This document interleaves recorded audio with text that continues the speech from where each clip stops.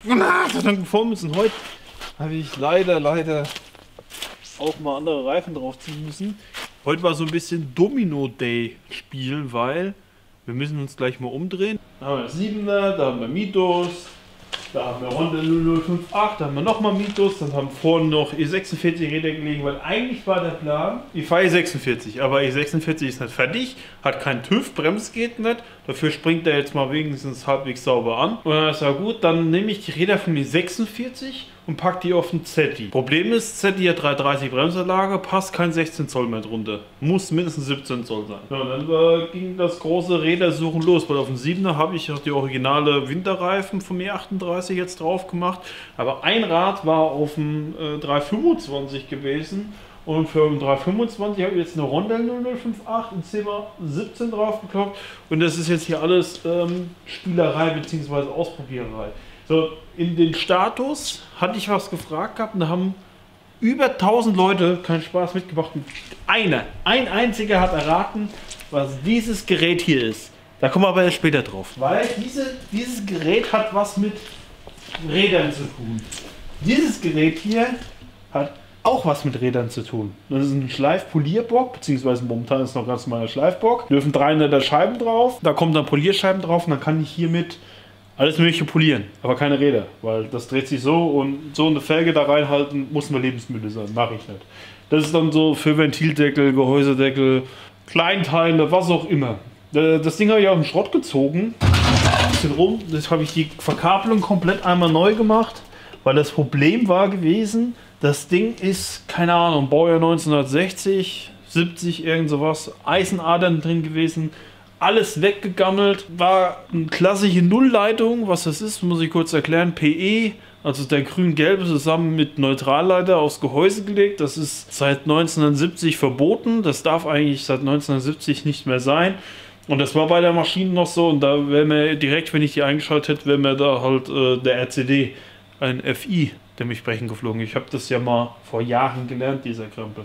So, das ist das eine Gerät. Jetzt fragt ihr euch ja, äh, wie willst du damit Felgen machen? Geht nicht, ne? Jetzt habe ich ein anderes Gerät mir gekauft.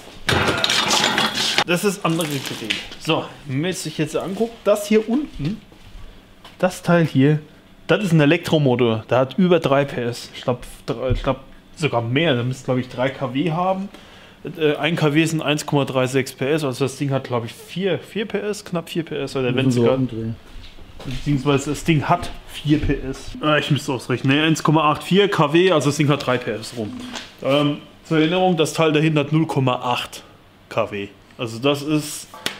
Also damit kann man sich ganz locker, easy Hände, Arme oder vielleicht auch so ein ganzer Obertorso abreißen mit dem Ding. So, was ist das genau? Und das nennt sich Wellenschleifgerät. Also ich habe jetzt hier zwei Wellen und kann dann hier vorne in das Spannfutter kann ich mal alle möglichen Sachen einspannen. Ne, auf, dem, auf der dicken Welle ist noch was eingespannt. Hier ist so ein Schleifer.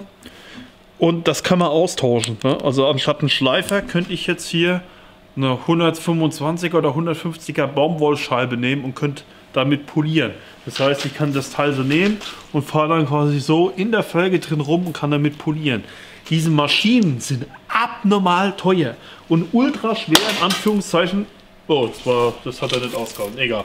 Äh, und ultra selten zu finden. Ich habe äh, mich mit der Thematik ein bisschen schlau gemacht und dann mir gedacht, okay, ich hole mir so eine Welle, hole ich mir für meinen Polierbock. Da gibt es so Umrüstkits oder kann man sich selbst bauen.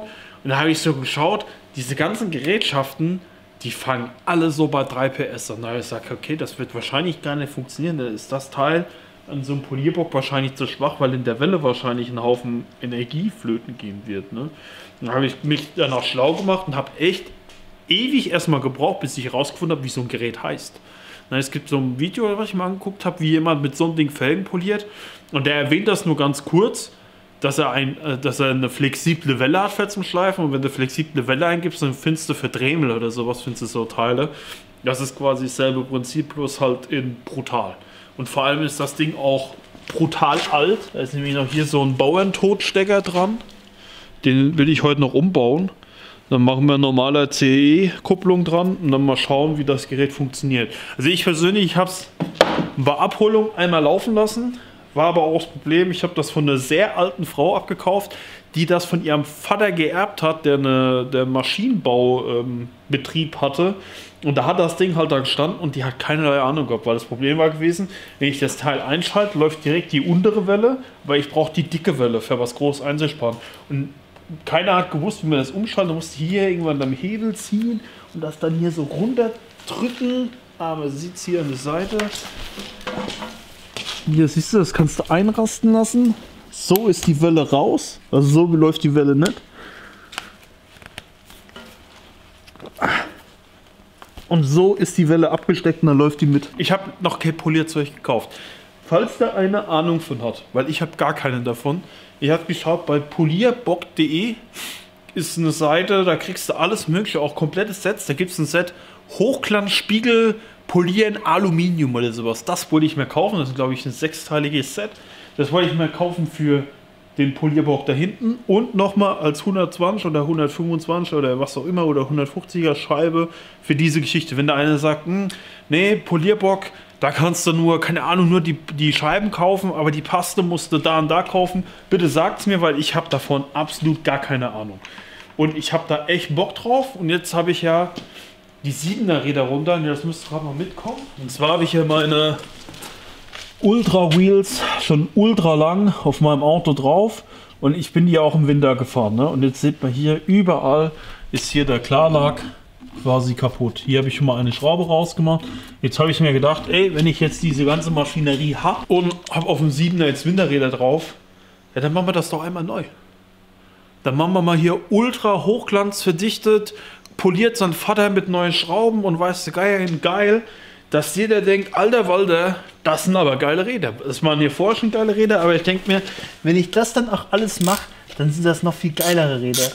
Und eigentlich eigentlich können wir das jetzt sagen, weil die Thematik ist durch. Das hat alles einen Grund.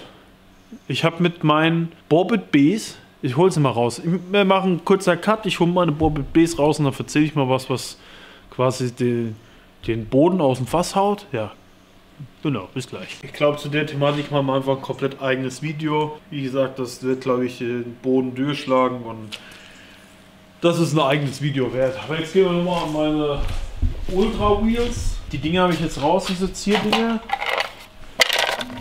Ich hätte auf meinen Bruder hören sollen, weil ich habe es jetzt probiert rauszuschrauben. Natürlich mit dem falschen Werkzeug. Es hat eigentlich gut geklappt, bis auf ein paar. Die sehen dann danach so aus, halt nicht mehr so geil. Und die sind eh verrostet oder oxidiert. Was ist, bedeutet, wir haben jetzt äh, mit einem Durchschlag ne, so ein Gerät hier quasi durchgetrieben. Und dann, das hier müsste vorne links oder vorne rechts sein, keine Ahnung. Ich habe mich immer gefragt, warum der die Luft nicht hält. Hier, deswegen hält er die Luft nicht. Und vor allem, diese Reifen, die habe ich erst ein Jahr drauf oder so. Und wenn ich mir das so angucke, da ist nicht mehr viel bis zu dem ähm, Abfahrnibbel-Kollege hier. Ne? Mehr Schieber habe ich momentan daheim. Aber das, das finde ich jetzt echt schade. Das sind Hancocks, die haben jetzt vielleicht 20.000 runter. Max. Also wenn sie jetzt innen abgefahren wären, hätte ich gesagt, okay, ist in Ordnung, wegen einem Sturz, was ich hinten fahre. Aber der Reifen als solches ist, ist ja abgefahren. Wenn ich mir die äh, Pirellis angucke, ne, die sind halt nur innen abgefahren. Hier müssten sie abgefahren sein. Und hier ist es eigentlich noch eigentlich genauso gut wie das hier, obwohl die hier jetzt ein Jahr maximal alt sind. Ne? So, jetzt die Überlegung, ich habe die Schrauben rausgemacht. Dann muss ich mir Beize holen. Und dann beizt sich den Klarlack hier runter. Und dann gehen wir hin und dann polieren wir das mit dem geilen Gerät, wenn bis dahin mir jemand gesagt hat, was man da am besten für nimmt. Weil diese Zielschrauben, die gibt es wohl neu für wenig Geld und in alle möglichen Farben und dann ähm, ja, mache ich da ein paar neue Schrauben noch drauf. Ne? Also ich will den Stern Silber lassen, und ich denke, da werden auch wieder silberne Zielschrauben drauf kommen. Maximal vielleicht goldene. Goldene würde ich noch fühlen. Goldene, Kameramann grinst. Ja, aber dann ein goldener Stern. Nee, goldener Stern mache ich nicht. Das, haben wir, das Thema hatten wir ein bisschen mehr Brechen schon mal mit Benny gehabt. Das macht man einfach nicht, weil dann nimmt man quasi den, die Käuferschaft von so einer Felge wird dann extrem kleiner durch. Deswegen mache ich auch bei den Mitos keinen goldenen Stern. Ihr habt es bei den BBS RCs und da ist das in Ordnung, weil das kommt dann anstelle von dem Borbet Base auf mal 325 und dann ist das gut. Übrigens, ich bin am überlegen, die Borbet Base auch zu verkaufen. Ne? Also wenn da einer Interesse dran hat, 7,5 und 9x16, GT15 auf der Hinterachse. Ich bin mir ziemlich sicher, dass ich sowohl verkaufen will, weil ich habe kein einziges Fahrzeug, wo sie drauf passen. 318 IS, 5 Loch. 325, 5 Loch. i30 M3 passt gar nicht drauf, weil Bremsen zu groß ist. 325 M3 bzw. 328 M3 passt auch nicht, Bremsen zu groß und auch 5 Loch. Der einzige i30, bei dem es noch passen würde, ist der 318 IS, den ich habe. Und bei dem bin ich überlegen, den zu verkaufen. Beziehungsweise ich habe noch was zu verkaufen, ein Kreuzspeicher, 4x100 in, äh, was ist das, 7x17, ne, 7x15 oder so. Also die originalen Kreuzspeichen habe ich einen Satz, kann auch weg. Der ist komplett neu gepulvert, brauche ich nicht. Kann, kann, ich keine Ahnung, wie ich machen soll. So, jetzt, äh, was wollte ich machen? Also, ich wollte an dieses Gerät mal, dieses geile äh, Schleifgerät hier mal einen neuen Stecker dran knuddeln und dann schmeißen wir das zusammen mal an. Bin ich scheiß drauf. Gehe hier mit meinem Messgerät auf ähm, Durchschalten. Das heißt, wenn ich Kontakt habe, dann macht das ein Geräusch. Ne? Dann habe ich einen Kurzschluss in der Hinsicht. Ja. Gucken wir mal den geilen Stecker. Weil ich glaube, der hat auch gar kein PE. Beziehungsweise wahrscheinlich ist. Ich habe mir die Belegung von den Dingern durchguckt. Mich würde es ja wundern, wenn das eine PE ist und das andere neutral ist. Ne? Ne, ich gehe von aus, der hat überhaupt kein PE. Ich petze mal das Kabel hier ab. So, jetzt habe ich mal den Stecker abgepetzt. Mich wundert es ein bisschen, weil ich weiß aber auch nicht, wie die Farbkodierung damals war oder ob da damals einfach jemand was gebastelt hat. Ne? Also wir haben grün-gelb ist PE, ne, also Erdung, blau ist normal Neutralleiter, braun und schwarz sind normal Phasen. So dieser Motor ist ja ein Drehstrommotor, der müsste eigentlich, oder beziehungsweise der hat ähm, UVW, das sind die Wicklungen, und dann hast du normalerweise pro Wicklung eine Phase. Man kann so einen Drehstrommotor auch mit zwei Phasen laufen lassen, das geht. Dann hat er weniger Leistung und man kann ihn mit einem Kondensator eine dritte Phase simulieren durch Phasenverschiebung. Ne? Jetzt denken die alle, was? Mein Bruder hat auch ganz viele Fragezeichen im Gesicht. Das hat was mit dieser Sinuskurve zu tun und die sind dann unterschiedlich äh, quasi getaktet. So, das ist jetzt der Einschalter von diesem Gerät. Ne? Das will ich dann auch alles neu machen. Bloß Problem ist, hier ist eine 4-Aderleiter drin. Wenn würde ich eine 5-Aderleiter reinlegen, eigentlich brauchst du nicht, wenn hier keine Steckdose vorhanden sein sollte. Ne? Bloß jetzt frage ich mich, wo ist der blaue jetzt hier aufgelegt? Ist der jetzt, ist das der noch, wo da zu sehen ist? Weil das sieht für mich aus, als würde das Kabel hier, wenn du das anguckst, von den Farben her neu gekommen sein. Ne? Und das wäre dann kein Neutralleiter. Das wäre dann fatal, wenn ich das. Ja, okay. Weil eigentlich müsste ich das. Gut, und hier ist die. Gut, dann sind das drei Phasen, das heißt drei Phasen und PI. Das kann ich jetzt schon mal anschließen, das ist kein Problem. Das ist eine geile Zange. Was denkst du, was so eine Zange kostet? 140 Euro. Vor allem, was denkst du, was man mit so einer Zange macht? Abisolin. Nee, das ist so eine Ader-Enthülsen-Presszange. Und die verpresst gasdicht. Das ist eigentlich total egal, ob das gasdicht ist oder nicht, aber der Funk bei dieser Anwendung hier. Aber ich finde es geil und ich habe mir die ausgeliehen. Also die ist nicht mir privat. Weil so eine Zange kostet äh, 400 Euro. Geil, ne? Für so ein bisschen Zange hier, 400 Tacken. Aber das macht auch, das muss sein. Das macht dann auch Bock, damit zu schaffen. Zange, pass auf, jetzt guck dir das an. Du musst das so von vorne filmen, wie diese geile Backen dann zusammengehen. Achtung. Zack. Hammer. Ich liebe diese Zange. So, ich mach das schnell fertig. Da war schnell ein Stecker dran. Und dann sehen wir uns in der Steckdose, beziehungsweise wie hier äh, bei mir im Dorf wahrscheinlich alle Lichter ausgehen werden, weil das Teil brutal Bauer hat, Junge.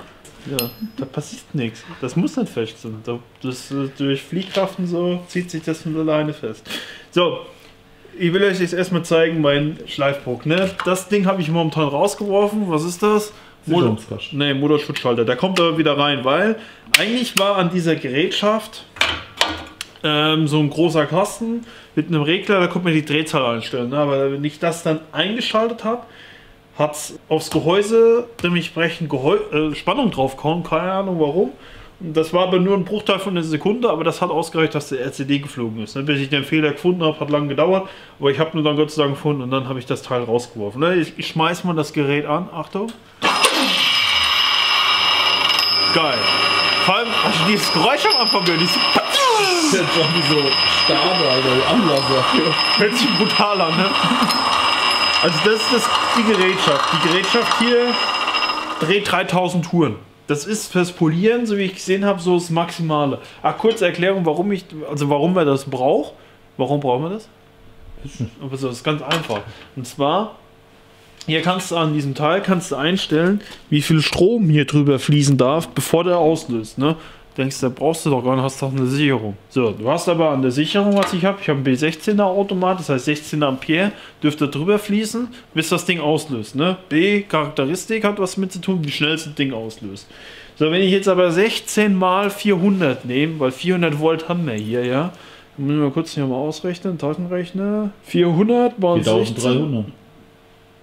Nee, 6400, das sind 6,4 kW. Das Gerät, erinnern wir uns, hat 0,8. Ne?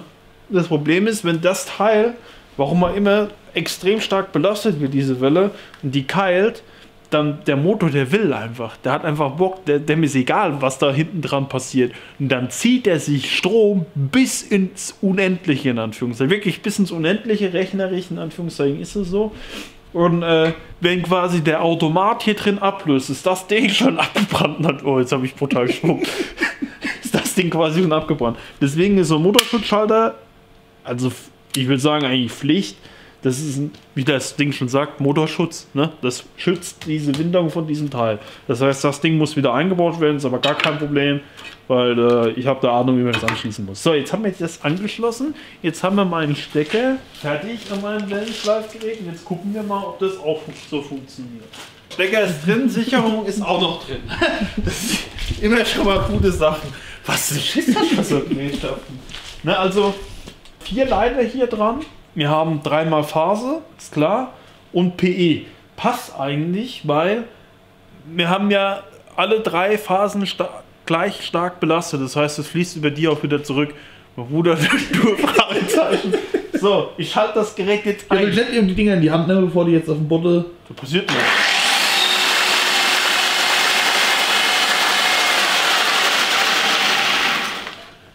Geil, oder?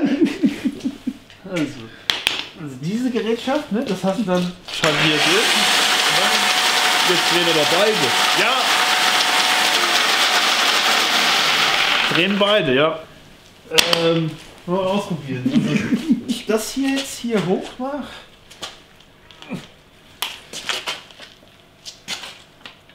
So, jetzt dürfte sich die andere Welle wegdrehen.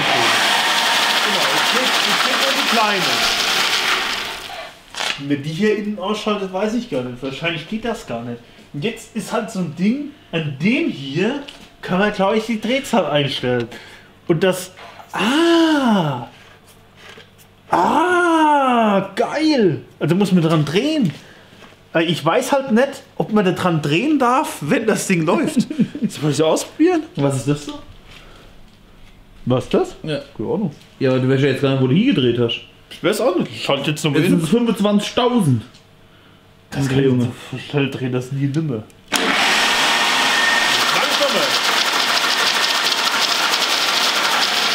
Ich glaube auch, dass, dass, man, dass ich, glaube ich, mit dem Getriebe auch nur die obere Welle verstelle. Ich, ich mach mal an und dreh mal dran.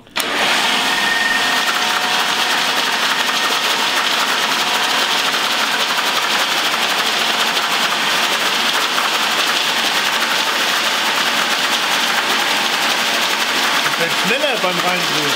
Also, hört sich mal an.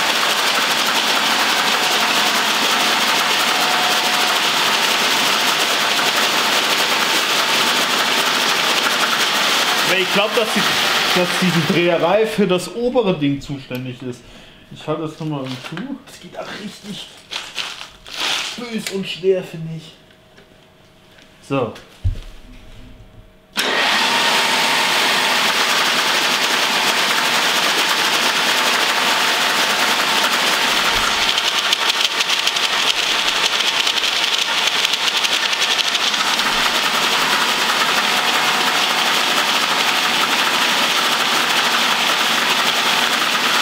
Keine Ahnung. Vor allem, ich glaube, hierfür wird's hierfür wird's auch ein Werkzeug geben, ne? Weil, Alter, das restet die Pfoten auf, ne? Mit diesen Pins hier. Oder vielleicht kann man vorne auch was draufstecken. Ne, sieht nicht so aus. Also wie wir sehen, das Gerät funktioniert schon mal und es dreht sich. Das, das freut mich schon mal sehr, weil äh, die Frau, die mir das Gerät hier verkauft hat, die hat nicht mal gewusst, wie ich diese Welle hier einschalte. Ne? Ich habe dann einfach da dann rumgespielt. Hier steht auch im Stillstand schalten. Ne? Also das ist klar, diese Welle hier dazu schalten sollte man nur machen, wenn das Gerät quasi ausgeschaltet ist. Ne? Ja, wird, wird cool, denke ich. Freue ich mich. Sehe ich mich auch so richtig gut nebendran.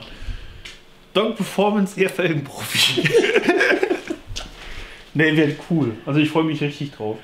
Und ich bin auch überlegen, beide Gerätschaften neu zu streichen. Generell bin ich überlegen, die ganze Bude hier neu zu streichen. Also ab hier so. Und dann hier bis komplett rüber bis zum Karlsberg. In so einem Anthrazit-Grau oder sowas, keine Ahnung. Vielleicht weiß ich gar nicht, was man noch erzählen kann. Ich glaube, das war's. In diesem Sinne, schau, kommentieren. Bis zum nächsten Mal. Tschüss. Nee, ich habe noch was. Kurzer Nachtrag noch. Und dann beenden wir das für heute. Scheinwerfer habe ich komplett zerlegt gehabt. Da sind schon die Objekte der Begierde drin. Weiße Blinkergläser. Und hier sind die Streuscheiben in, ja, nicht neu, aber halt in besser als sie so bei mir drauf hatte. Eigentlich war ja der Plan, dass ich einen Z3 jetzt mit Winterreifen fahre. Deswegen habe ich den ganzen Krempel jetzt mitgenommen gehabt und wollte die Dinger schon mal zusammenkleben. Aber bin froh, dass wir es jetzt doch nicht gemacht haben, dass doch nichts gepasst hat, weil ich wollte eigentlich diese Streuscheiben hier das sind die jetzt vom Engländer. Die wollte ich eigentlich nehmen. Wollte die, ach, wollte nicht, die wollte ich nicht nehmen. Ich wollte von Anfang an die anderen nehmen. Genau, beziehungsweise ich wollte mir einen Satz so machen, dass der gescheit aussieht, weil hier, das ist ja der Vor-Facelift, da hat diese Chromringe hier dran. Und die sind bei meinen, wenn ich jetzt mal zum Vergleich einen raushole, ne, die sind gar nicht mehr existent, die sind komplett weg.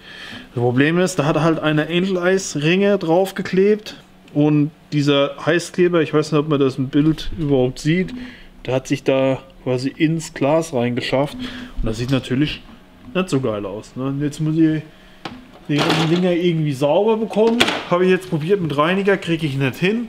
Jetzt nehme ich halt die ganzen Teile und gebe sie ab für zum Polieren und Schleifen, dass das wieder geil aussieht. Und dann klebe ich die Dinger anschließend erst zusammen.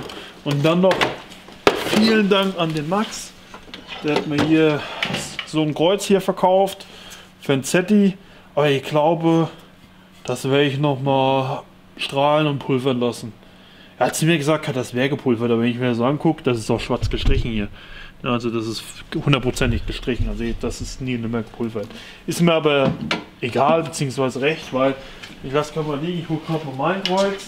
Mein Kreuz ist nämlich, ach, wo war denn das gewesen? Das ist nämlich schon auseinandergerissen. Hier, hier ist es nicht mehr fest, das ist komplett durchgerostet. Und irgendwo glaube ich noch. Also das, also meins ist komplett fertig, das brauche ich gar nicht mehr ausprobieren, beziehungsweise äh, zum Pulvern oder sonstiges. Dann gehe ich hin und nehme das. Und hier ist drauf geschweißt. Das ist auch nicht original. Ja. Ne, doch, die Platte ist original, das war dem auch. Ah ja, doch. Ja, ja, das ist äh, zum Verstärken. Und dann äh, hoffe ich, dass Albi bald fertig wird, weil Albi hat sich aufgeopfert, beziehungsweise der hat einfach Eigeninitiative ergriffen. Er hat einen Vortragsträger vom E36 genommen, hat den komplett strahlen lassen, hat Einziehmuttern einziehen lassen, aber derjenige, der diesen Job hatte, der hat verkackt, der hat sich an die falsche Position gesetzt und das Ding ist jetzt gerade beim Pulvern und wenn das dann zurück ist, dann baue ich das alles in ZD ein. So, und das, Wäre das eigentlich weiß? was wird weiß? Das Kreuz und Nein, bleibt schwarz. bleibt alles schwarz. Problem ist momentan, äh, mein Pulverer, der hat momentan ähm, private Probleme, sage ich jetzt einfach mal dazu. Und da will ich dem mit meinem Krempel jetzt nicht auf den Sack gehen, deswegen werde ich das Auto dieses Jahr, wenn Ende dieses Jahr, weil wir haben ja schon 23, komplett zerlegen und äh, quasi alles neu machen und neu pulvern, weil äh, dem will ich jetzt mit meinem Krempel nicht auf den Sack gehen. So, in diesem Sinne, schau, kommentieren, bla bla bla, Wiedersehen, habt euch lieb und so.